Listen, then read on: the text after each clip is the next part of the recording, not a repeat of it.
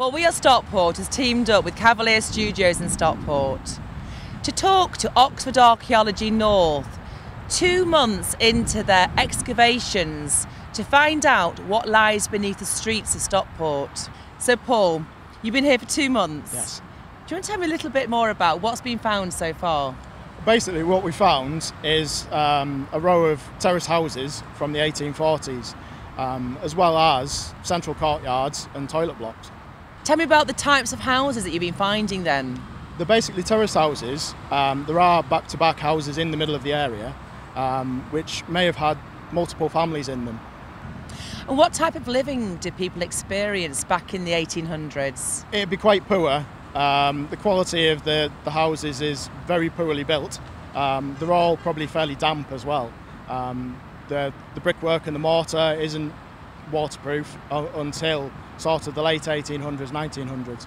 Um, so it is very poor quality housing and almost slum living, really, to be honest. Now, Stockport Council has contracted Oxford Archaeology North to excavate prior to Red Rock being developed. What's been unexpected so far in your finds? Um, to be honest, it's just the level of survival. We are finding artifacts that are from the sort of last people that were living in the houses.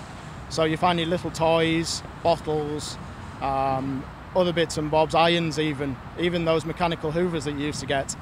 Now we're going to go and walk through and find out for ourselves exactly what Paul's been telling us about. Crikey.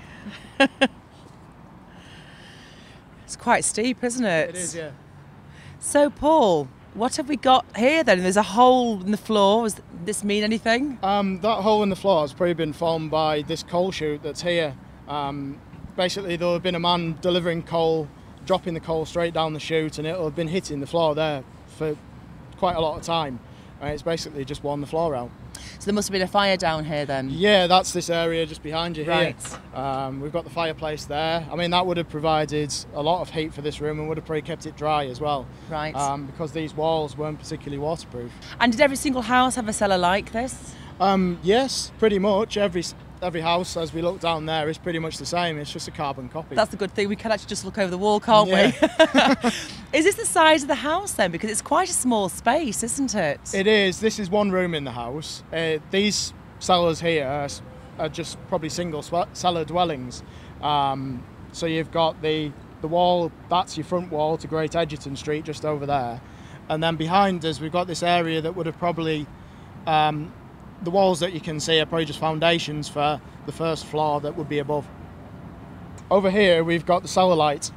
Um, this is where all the light for the room would have come from and would have probably had a sash window in it, which you can see from the sash window weights that we've just got there. Um, obviously you've got two of them uh, either side of the window. This, obviously the staircase that we came down before, and we would have probably used that area under there as um, some form of storage, as it, as it would be an open area. Looking over there, there's a girl sketching. Um, what's happening? This is one of our archaeologists uh, who's recording what's going on in the cellars. She's basically taking a, a sketch of what we've got here and then describing it. We'll move on to this, which is the uh, Smithy's Yard, which is uh, was originally constructed in the 1840s, um, but obviously went out of use in the 1850s-ish, around about that period, um, as you can see by these foundations for the later building. So this is the courtyard now. Yeah, this is the central courtyard that we've got here, um, with a sort of paved area around the outside of it with drainage and all that. And then over here we've got a toilet block.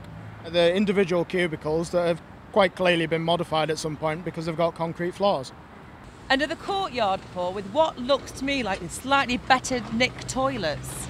Yeah, these are a bit later in date than the ones we've just looked at, and obviously they're a bit lower down, so they survived a bit better.